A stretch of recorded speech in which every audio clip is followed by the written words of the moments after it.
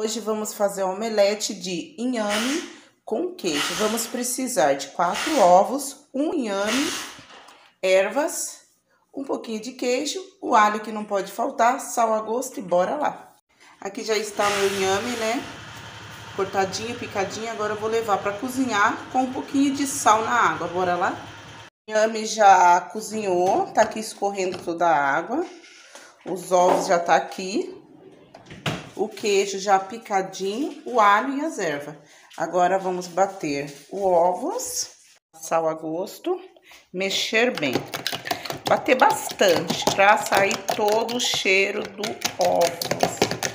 Fica uma delícia, gente. É para ficar uma delícia, né? Na verdade, eu nunca comi. Vamos ver se fica bom. Acrescentei os demais aqui. Só tá faltando o inhame ali, né? E agora a gente continua batendo bastante garfo, vamos amassar bem o inhame, bem amassadinho, pra gente misturar com os ovos.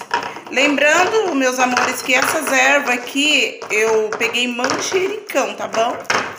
Amassadinho, a gente vai misturar ele aqui. Lembrando, meus amores, que o inhame, ele tem inúmeras vitaminas. Ele é maravilhoso para os ossos, fortalece os ossos.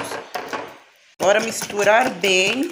Amor, e será como vai ficar essa delícia aqui pro meu regiminho? Será que mata a fome? Ah, mata. E aqui está todo o nosso ingrediente para o nosso omelete, nosso almoço de hoje. Bora para a frigideira e vamos ver o resultado final.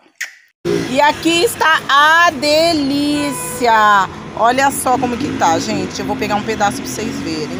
Olha só, galera. Olha só para esse pedaço aqui. Olha, eu trouxe ele aqui pro container, olha.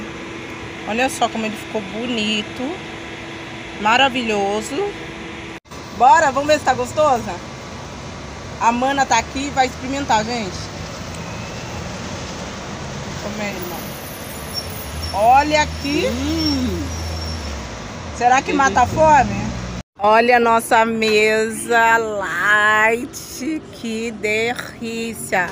Omelete, viu, gente? Não é só eu que tô no regime, não, hein? A Mana aqui também tá. É omelete do que, Vi? Omelete de frango.